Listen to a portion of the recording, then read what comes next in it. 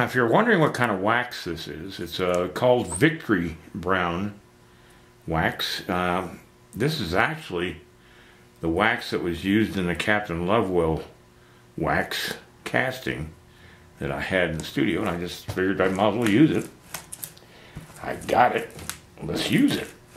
So, what I've got is two quarter inch uh, thick uh, Masonite uh, boards and I've got some of the paper that they put on the wax to keep it from sticking to each other. And uh, I'm going to press this wax right between the two boards. And what that will do is give me an even thickness of my clay. Let's see if that worked. Well, still has to go down a little bit.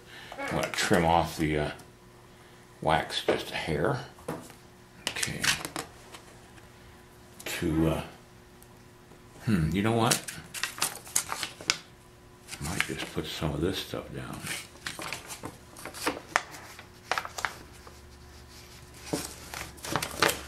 By golly, that's what I'm gonna do.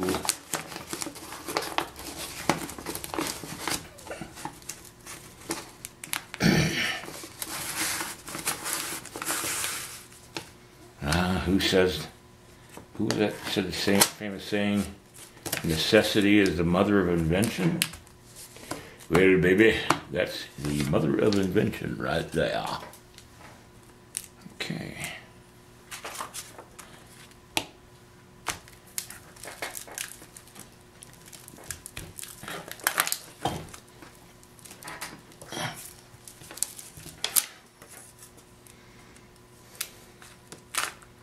Oh, works beautifully. Look at that.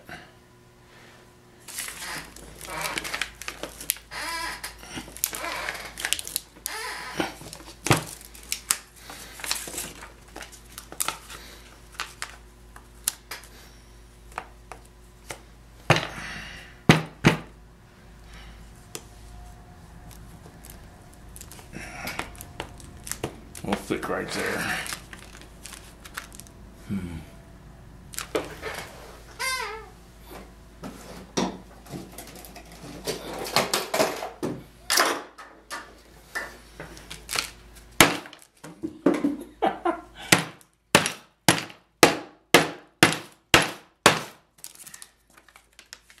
All I got it to the thickness.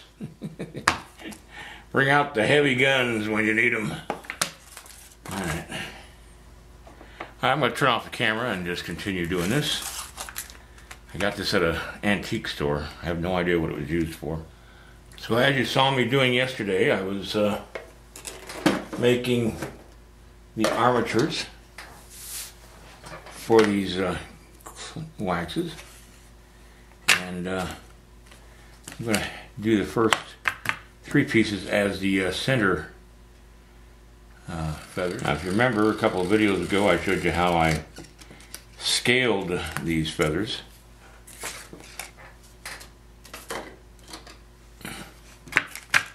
I'm going to just put that on there and cut around it.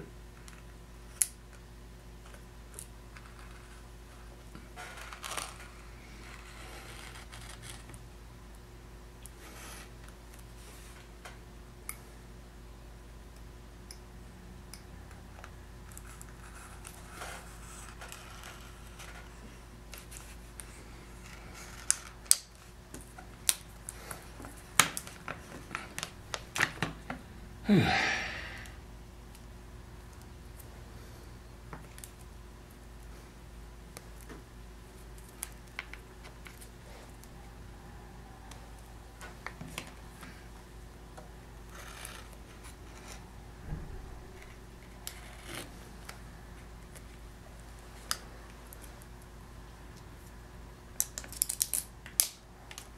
we go.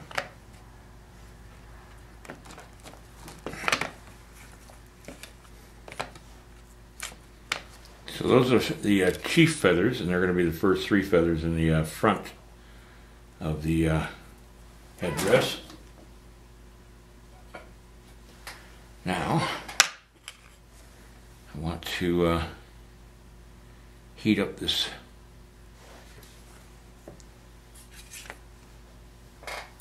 wire so that uh, I can melt it into the clay wax.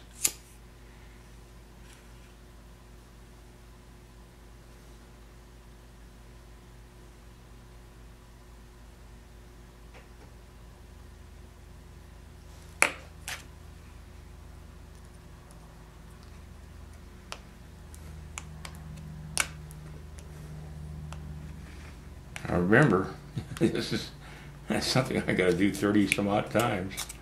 It's going to be just a blast. Got that feather anchored with a uh, armature. Okay.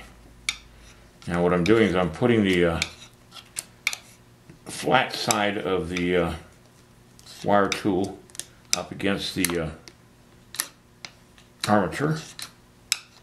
I'm just going along the armature and I'm making a thin edge on that edge.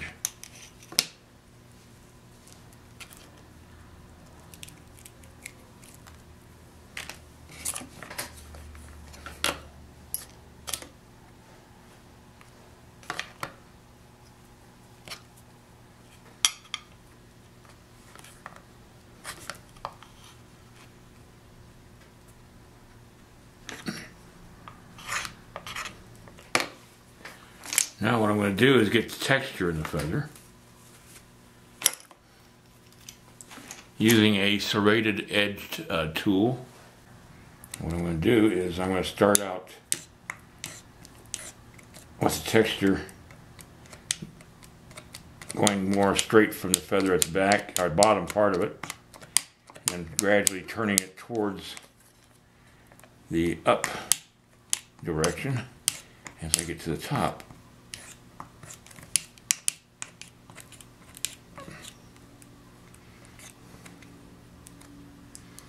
And if you're going to put that texture in the one feather, you got to do it on all the feathers. Well worth it. And now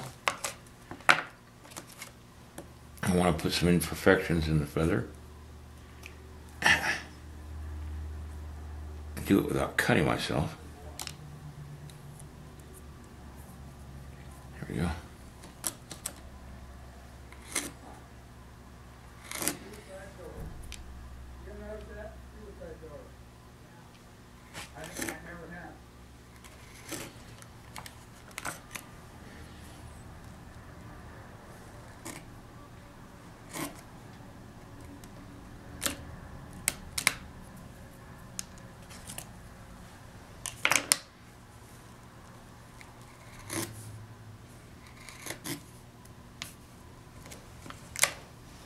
Don't want to do too many, and you don't want to do them all in the same positioning. You want each feather to be unique.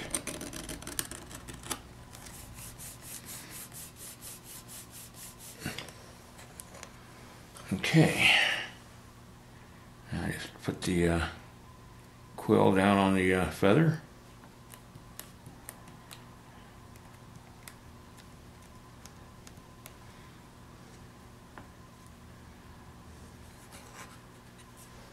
That's the front side. Now I got to do the back side. I'm going to take my X-Acto knife and just put a couple of long strokes into the feather. Okay, I want to keep all the uh, quills the same length, and so I marked uh, this one. And now I'm going to set that aside until I'm ready to work on the other part of that. So that's going to do it for today, and I'm just going to continue working here on these feathers, and uh, I'll see you next time when I get done with them. It may be a couple of week, couple of days into next week before I'm done with feathers. Once I get the feathers, and everything else will start flowing into shape real quick. All right, everybody, have a great night, and uh, next time.